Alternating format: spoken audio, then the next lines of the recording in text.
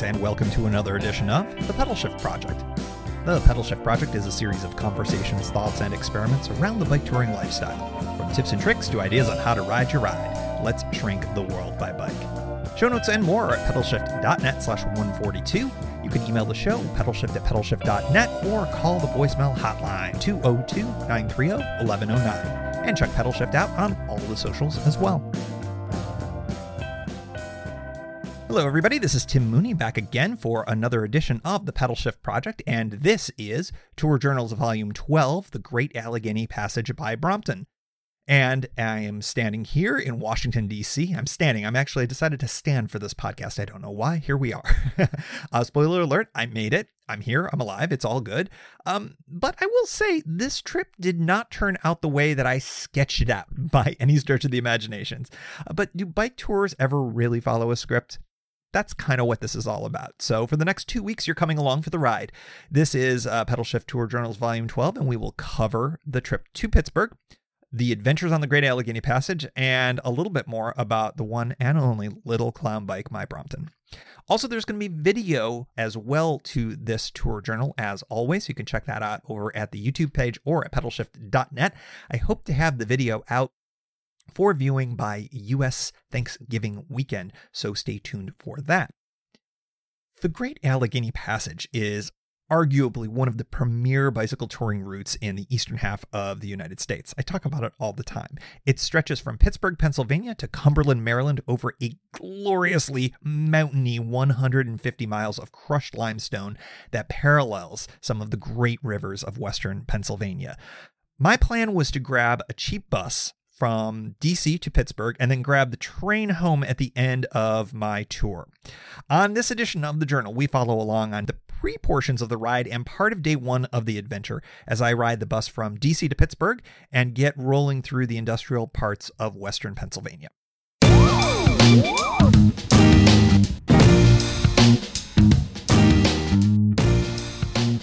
Think we'll call this day minus two or day minus three. This is uh, the weekend before I leave for my trip. I am at the base of the Washington Monument here in, you guessed it, Washington, D.C. And I have just shot a video that sort of gives an overview of the bike, which I encourage you to check out. And that should be over at the YouTube channel and hopefully on the pedalshift.net homepage as well. This was the first time I've ridden any kind of real distance with the bike, and it was only a couple of miles, so nothing real crazy, but able to give me the answers to a few questions, which was, hey, is this going to work? And how well does it work? And the answer is one, it will definitely work in this setup this configuration that I've described before uh, on the preview episode. But the thing that I'd say how well, that's a little bit more of a question mark. I tend to pack my best when I am at home and worse when I'm in the field. So the question will end up being will this get a little more dodgy as I go along? I notice that I do have some heel strike with. Um, this setup. Not as bad as the worst of the heel strike that I would get with the backpack setup. I should describe heel strike a little bit. I, I think I may have just been saying it, and maybe people don't realize what it is wheels of the clock. So uh, for your left foot at three o'clock and your right foot at nine o'clock, are you hitting something anywhere on the rear of your bike? Uh, this is a problem typically with bikes that aren't designed for touring. When you have a rack back there, sometimes you will be hitting the back of your heels on panniers. That's why most touring bikes have longer wheelbases, allows you to avoid that issue. Of course, that's what my other bike is designed for. This one is, while a good touring bike, when you're mucking around with different options for attaching things, you may run into some heel strike.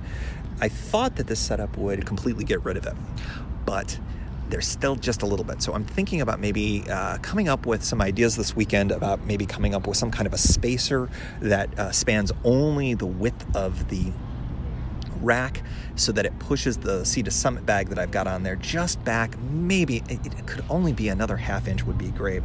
But um, of course, out in the field, uh, my results may vary. So we'll have to see how it goes. It may be something as simple as just uh, zip tying on a small block or something along those lines. Of course, then the thing that you run into is is this going to fold right anymore? So maybe zip tying is not the best option. You can tell I'm thinking out loud right now, right? With my bicycle engineering, my Brompton bicycle engineering. we'll have to see how that ends up going. But overall, uh, it's it's it's really a, a great setup. I'm pretty pleased with it. I think I've got a lot of room for things, and as it turns out, I'm going to need that. I looked at the burgeoning weather forecast for next week when I'm going to be going and the lows are going to be much lower than I thought they were going to be. They're going to be much closer to the 20s. So that is cold. That's way less than I like. So I'm hoping to uh, have enough warm stuff to bring in the limited space that I've got. Um, warm stuff tends to be bulkier. Uh, I'm going to be bringing a second sleeping bag to line within my uh, rated down to 32 degrees Fahrenheit bag that should be enough. Um, I may have uncomfortable nights rather than comfort, comfortable warm nights. Uh, it's so funny. I'm usually battling the heat so much, and now I'm going to be battling the cold, something I rarely do. I'm going to be at elevation, and there's definitely going to be some nights that will be well below freezing. Um, now you have to start thinking about things like: Is my are my water bottles going to freeze? How am I going to deal with all that? etc., etc. The good news is that it does look like it's going to be dry. Um, I'm going to be keeping an eye on the weather to see how things go. I'm not going to be doing silly things. So if I do have to end up getting a roof over my head, I'll get a roof over my head, so be it. Um, you may recall in past tours when I've been sort of fighting the edge of winter a little bit, these kind of like really cold nights. Uh, I had Belle Star with me once, and there was no way I was going to subject her to something like that. Now, me, I'll subject to things. so we'll see how it goes. Those are some of the, kind of the big ticket things that are happening here in the planning stages of this tour. Um, I'm really kind of pleased with how this bike rides. I think on the Gap Trail it should be pretty good.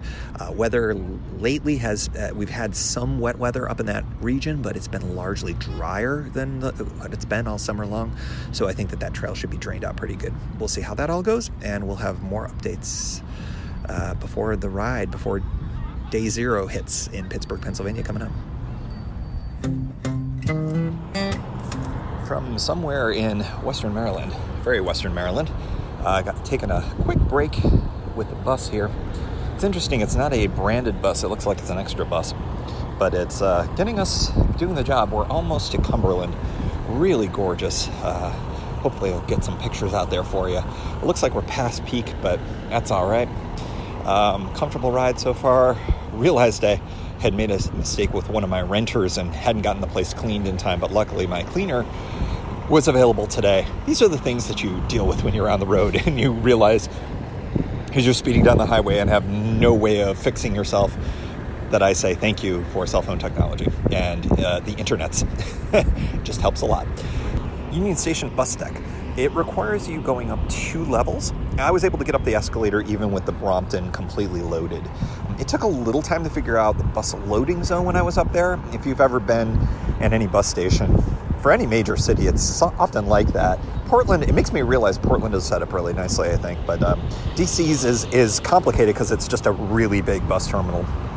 Um, once I got there, it was totally no nonsense. You got the tickets, we were loaded, and we were gone. I'm not sure if the second ticket was necessary, but nobody else had two bags, and I think it was a smart way to go. Bus is about half full, and we're going to be going to one more city en route, and that's going to be Morgantown, West Virginia, which is where West Virginia University is. Probably adds about two hours to the whole, whole trip, but that's also because of these half hour stops, which frankly, I was kind of down with because I never got coffee or breakfast on the way out of town. So, kind of good to do this. That's about it from the rest stop here. We'll talk more as we get to Pittsburgh. From Pittsburgh, Pennsylvania, it is the end of day zero, which was basically a travel day. And uh, I got a chance to do something I rarely get a chance to do in Pittsburgh, and that is to enjoy Pittsburgh for at least an afternoon and an evening.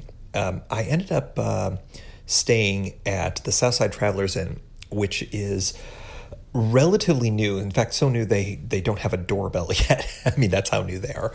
But um, it's reasonable accommodations. You have other options in the city of Pittsburgh, but not, I think, at this price point that are this nice based on just sort of what I'm seeing. There's, I think, competing Airbnbs and maybe there's a hotel. I think it's a Holiday Inn Express or something like that. But I think that you'd be paying more money for similar accommodations. You do have shared bathrooms, but frankly, does that really matter? They have like multiple bathrooms. There's only one other person here tonight, and uh, it turns out that I saw her down downstairs in the common living area, and that was it. And she was very nice. So I think that this is a really cool place to stay. It's something to consider. Southside Travelers Rest. It is literally blocks off of the Great Allegheny Passage. Now it's not on the same side of the river as Point State Park, so you're not in downtown, but that's actually a bonus because here on the south side, you're going to have essentially all of the nightlife and all of the really kind of, I'll be honest, cool parts of Pittsburgh, all within walking distance and certainly within biking distance. Uh, one thing that I thought was really nice about this place, although they don't let you take your bike inside, they have a secure garage for your biking and your camping equipment. And in fact, you cannot bring your bike or camping equipment into the rooms. Of course, you can bring a bag with your clothes and stuff like that, which was just fine. And frankly, that's probably all I would have wanted to do, anyways. But you know, once I had the bike in a secure place, and this is the Brompton too, so it's it's probably a little bit more. Mm, thievable, I suppose. I, you know, I was like, you know what? I think I feel like walking. I'm going to be spending plenty of time in the saddle in the next few days. So yeah, I just walked down. I think it's Court Street or whatever the main drag is around here, and you know, it's just like bar after bar, restaurant after restaurant, coffee shop after coffee shop. Just a lot of very cool places, and like in all sorts of different genres, including, you know, your dive bars all the way up to your kind of frou frou beer bar. Um, I ended up at a place called the Tap Room, which was fantastic. And that was one of the recommendations from one of the folks here at Southside Travelers Rest.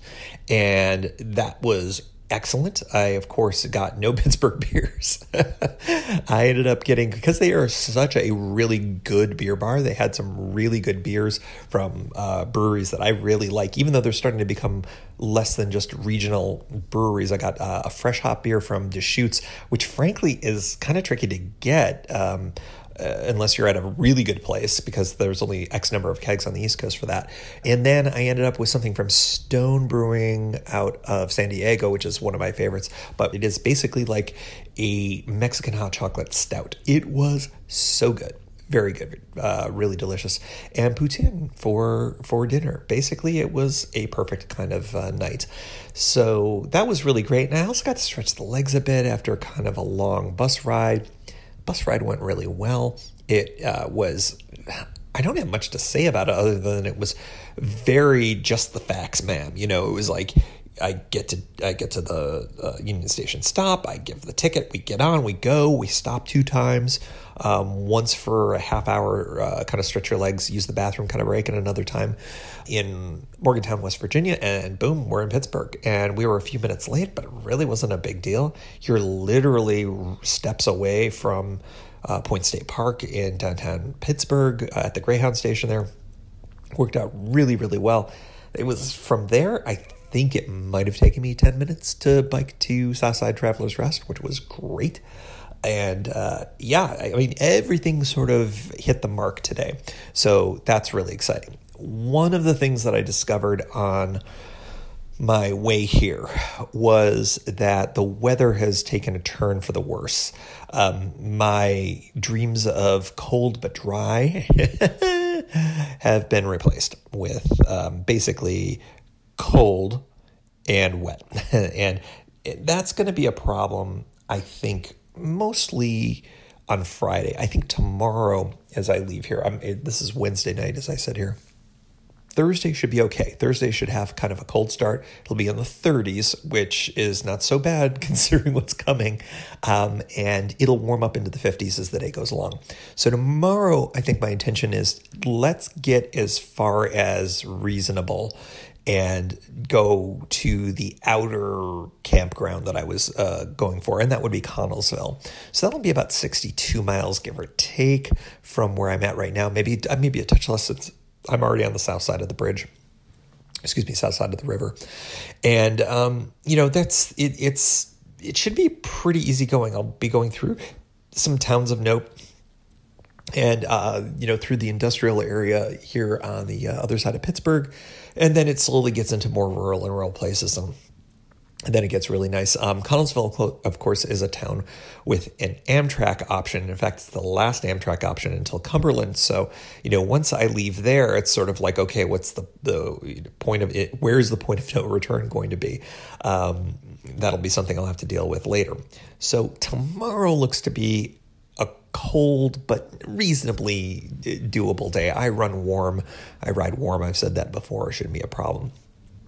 After that sort of previewing the day two of the ride, it looks like I'm going to get up, and if the forecast holds as it is forecast, I'll have a bit of dryness before I start, and then there's a chance of rain pretty much all day, and it's going to be probably just above freezing when I start riding, and it's probably going to remain that way all the way until um, I complete my day wherever that ends up being. Um, then it's going to dip way below freezing into the evening, probably drop into the 20s. So that is not super ideal. So I will be wet and perhaps setting up a, a tent in the rain.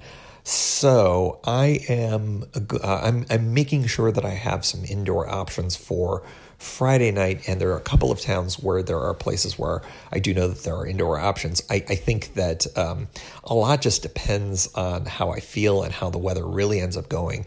Um, I know that when I did this very similar type of ride back in Washington in March, I found myself kind of fatigued by the end of the day. But the terrain was a lot different. There were there were a lot more hills involved. I think on the much more flat or slightly uphill surface that I'll be going on, who knows? Now I have historically had issues with that very stretch.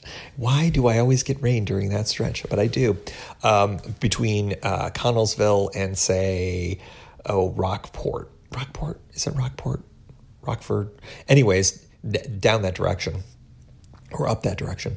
Um, the, the, trail drains, but it drains slowly, and it's like riding in a wet ashtray at times, which can be a little frustrating. Um, so I don't know how far I'm going to go. I've got kind of a short day option and a long day option. Um, if if I'm feeling good when I get to uh, um, Confluence. I think I've only got about another 20 miles to go to sort of the long day option. Um, it would be a little bit cheaper to go to the long day option by about 25 bucks. So that would be kind of my personal hope. and then that would also mean that my final day, which will be very cold would be that much better because I'm also going to have a downhill section with which will make a, an artificial wind chill on top of the 30 degree max cold that I'm going to have. And getting into Cumberland on the early side would be better but if Friday is a real hellscape of riding, I think I will call it early just because, you know, I'll need to get warm and need to get inside if, um, if things really are that bad. You know, there is a middle option, and that is hey, if things aren't that bad, if the rain is kind of stop and start and I'm feeling okay and I would like to camp, there is kind of an option uh, to wild camp really about halfway in between there. So um, that'll be Friday. Saturday, as I mentioned, it's just going to be straight up cold. I think uh, waking up and it'll be in the 20 degree mark, and it's just going to barely get into the 30s through the day. And uh, I've got, of course, that long downhill into Cumberland that will kind of finish up the ride portion, and then the the bottom's just going to drop out of the temperatures. I think that the low that night is going to be about 18 degrees. I am intending to camp through that since it will be dry, but we're just going to have to see about that. There are, of course, lodging options in Cumberland. So, when all is said and done, I may be indoors much more than I intended on this trip, but we will just have to see how it goes. This is how bike touring can be sometimes. Luckily, I do have the capability to fund the the overnights as necessary, but um, would prefer not to because I was kind of looking forward to a lot of camping. Foliage looks like it's um, mostly on the ground, unfortunately, but there are still some beautiful spots. And as we were driving, the bus was driving through some of the areas uh, like Mount, uh, Mount Savage and other areas on the Gap that I know I'd be going through. There are definitely some leaves on the trees. I don't know if they're going to survive Friday's storm, so we'll just have to see how it all ends up going. So, a fun, nice start on day zero. Um, some bad news, I guess I'll call it. Um, this is going to be more of a slog than it is going to be pure joy, but sometimes slogs can be joyful. So, off we go.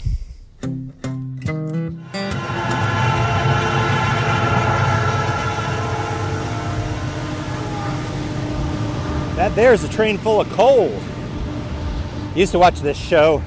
I think it's called Coal Miners. I think it's one of the last TV shows that I ever well, actually watched on television. Uh, and the uh, the line, I used to watch this with Mysterious James, and the line was, "Mining coal's all I know."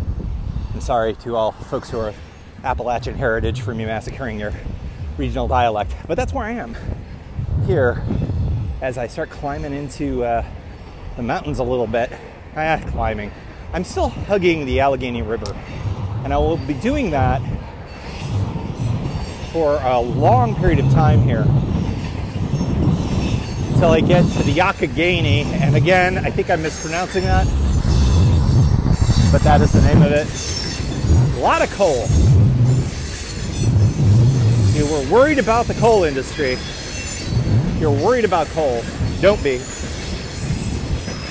Trade's full of it. advantage to cycling in the fall. The amount of the difference in the amount of hydration that I require is so different. Like I, I you know, I'm, I'm in the camp of drink when you're thirsty, not drink before you're thirsty. And that usually works for me. But uh, I have had, I think, one sip out of my water bottle this entire ride so far. I am, let's see, last I checked, I was about 50 miles out. You have to cross the tracks a few times. And uh, so there are hills of note. Here we go down. Hope you can hear it. Bridges are all made of this really nice composite decking, but it makes a racket when you go down. Uh, going by fitting factory where there's tons of steel pipes.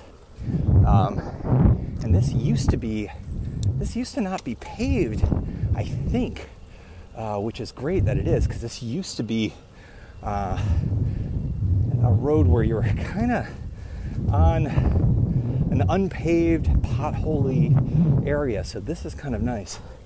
Uh, that this might even be recent, but I could be wrong. It doesn't look like it's super recent, but I haven't been up this direction. Geez, in a couple years I think it's been a couple years since I was last here. But, anyways, the trail's been great so far. I've really enjoyed the scenery on the opposite bank of the river. It's been just glorious and beautiful. There's still plenty of foliage up, so I'm kind of hoping that the whole uh, situation with the foliage stays that way. Getting close to Duquesne which of course is a college town uh, on the Burbish side of things here in Pittsburgh. And things are going well. Really enjoying the ride. Uh, hoping to bang out those miles, as I say, and uh, getting some good pictures and some good video. This is the this this this is the industrial outskirts of Port of Pittsburgh. I almost went to Portland, and it's it, it's strangely beautiful. I think that industrial chic has become a thing. The bar I was at last night was yet another one of those brick walled, former warehousey type places. And uh, I feel like that that's that, that look, that sort of beat up, old chain link look, exposed brick, that, that's become such a thing. And if you like that look, you should do the Great Allegheny Passage, especially up by Pittsburgh, because that's what you get for a good chunk of the day.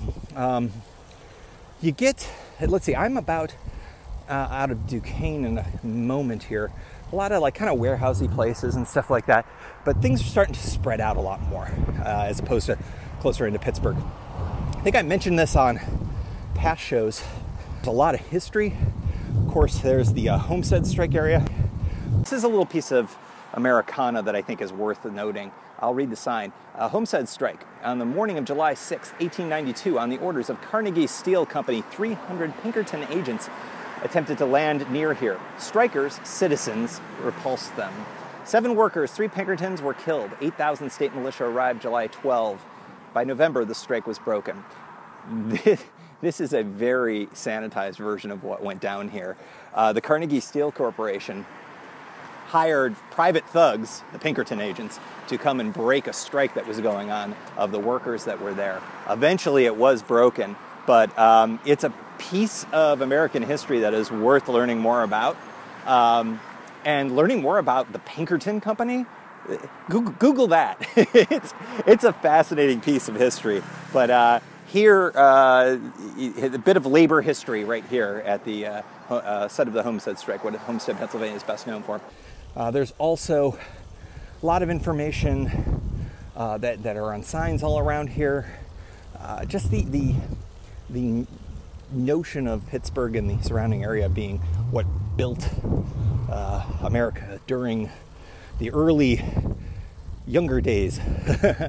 um, it's, it's very much there, but it's kind of it's kind of transitioned a lot, as with a lot of manufacturing.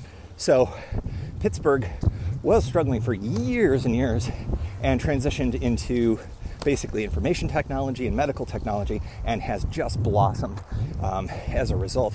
I, I, strongly recommend if you are not from the US or if you are in the US and you've never been to Pittsburgh, check it out. It's it's quite a cool town, a lot of a lot of good vibes, very friendly people. Um, I think I mentioned yesterday I was taking a vi- about to take a video and somebody asked, "Hey, would you like me to take your picture for you?" And I was like, "Oh no, that's cool. I was just going to do a video." But uh, that's the kind of thing I don't get in DC. Got a little bit of a highway over on my right side, but it's really quiet today. Uh, it is a Thursday morning, but uh, doesn't seem. It seems like the any any workday traffic has long since passed around here. Going to be going through the town of Boston, Pennsylvania, in a little bit. Uh, I believe there's a there's a bar there that I've been to a couple of times. Usually when it's just crazy hot and I need a little break from the sun, and uh, you know it's like two dollar Yuenglings and stuff like that. It's a little on the early side for that for me. So I think I'm gonna keep continuing uh, through Boston. There's also McKeesport. I might be going through McKeesport first. McKeesport's got kind of a rough reputation, um, but apparently they're going to be rebuilding how the Great Allegheny Passage goes through the town a little bit rather than have it go uh, behind, I, I, guess that's the bus terminal or the police station or something like that. They may make it be elevated and uh, have good good access to some of the local businesses, and that would be good because McKeesport could kind of use that. And it feels like um, there's not a lot not a lot going on there, and I don't I don't say that flippantly. I feel like that these trail towns tend to benefit from the trails, and I, I, I hope that what they're talking about doing in McKeesport will help that town because uh, it's got some history there as well. There's a, uh, I think, a statue of John Kennedy. He came and did some, I guess, campaigning there or something like that. It was a famous speech that was delivered there. It's in a little park, not not too far off.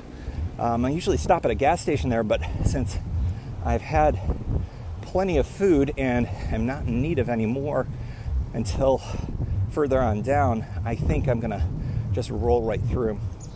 Uh, once you get out of there, it's interesting. McKeesport, I believe, if I recall correctly, has also like a little hostel kind of a thing that the town runs, but I can't imagine that it's open now. Um, anytime I've gone by it, it's always closed, even kind of the height of summer. So I wonder if that's something they tried and decided not to do. Uh, you never hear me say this. The sun feels really good. Uh, I'm wearing a black merino wool sweater as my outer layer, and it's absorbing that warmth really nicely. Um, I actually had my rain jacket on earlier and had to take it off because I was sweating so much. So, as usual, I ride a little warm. The forecast, as I have mentioned, I feel like I've mentioned it a million times, but might have been in the, the session that just didn't record, will be very cold. Um, I'm looking forward to seeing how well my sleeping bag per- performs tonight. Um, I do intend to camp tonight because uh, Connellsville has a nice setup there. Although I will say, I've heard some folks uh, reach out to me saying that they have had some encounters there that have been less than great. Uh, I have had uh, not poor encounters, but I have had sort of like you can tell there's people there who are kind of staying there. Um, which may speak more to the economy of the local area a little bit and uh, what folks have to go through. I've never had a problem. I've never felt uncomfortable, um, but we'll see how that goes. I don't know what it would be like tonight. It's going to be quite cold, so I hope if anybody is without a home, they're not relying on those uh, very not warm shelters. Um, I do have stuff to get me through a pretty cold night. I've got the down bag for tonight. I've also got a fleece liner that I intend to get into as well. So I think between all of that, I should be okay. Kind of an open question how the next day or two is going to go. But to be continued. I'm about to cross one of the prettier, nicer bridges going across the river here. So I will sign out right now.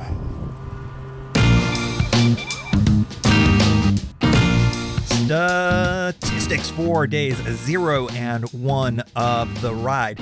Bus miles logged 288. Bike miles biked 31 in the half day or so that you've heard so far. Pittsburgh overnights one. Beers two, and very good ones I might add. Poutine servings one. It was enormous. Thank you to the bartender who stopped me from getting more than that. Mocking pro Syracuse University pictures taken outside Pittsburgh Panthers training facility. Didn't mention this on the pod. One. And little clown bikes. One. Water bottle refills. Zero. It's fall. And flats. Zero. Coming up in part two of Pedalshift Tour Journals, Volume 12, Great Allegheny Passage by Brompton. I just got a sign that said last water till Whitsett. That's great. I don't know what that means. little chillier than I think uh, I would have liked. We like to close out the show with a big thank you to all of the supporters of the Pedalshift project through the Pedalshift Society. If you like what you hear, you can help maintain Pedalshift as an independent, listener-supported voice while expanding the offerings. We're talking five bucks, two bucks, or even a buck a month helps with the cost of hosting the podcast, the website, and more. And you can do it for a little bit, cancel anytime. One shot support's welcome if you're not into the whole small monthly thing, and you can check it all out and join at pedalshift.net slash society. On to the society.